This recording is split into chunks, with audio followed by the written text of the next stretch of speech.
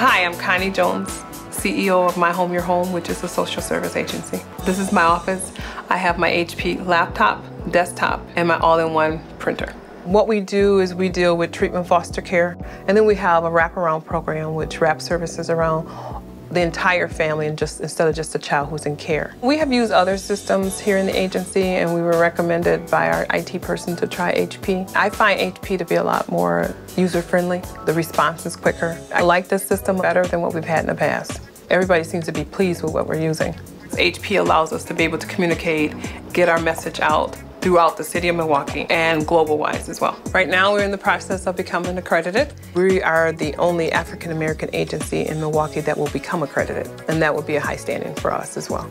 At home, I use my laptop a lot, so I'm working at home quite a bit. Good boy. There you go. Pretty much all the policies that are on, we uh, I normally put it on my system and then put it on our jump drive and then take it back to the office and have any editing that needs to be done, then have it set up for presentation. Now I've just wrapped up everything at the house and I'm headed to the office to view what I'm going to be presenting. I think my proudest moment is when I see foster parents that go out of their way to instill their morals and values in another child's life. That makes me proud to say that we have people who care about kids. As a small business, HP allows us to focus more on our families and our children that we serve. To me, I look at HP as being one of our team players. HP's got my back. It's bringing families hope, one individual at a time. That's our mission. And if we can just touch one family, one individual, that is our ultimate goal.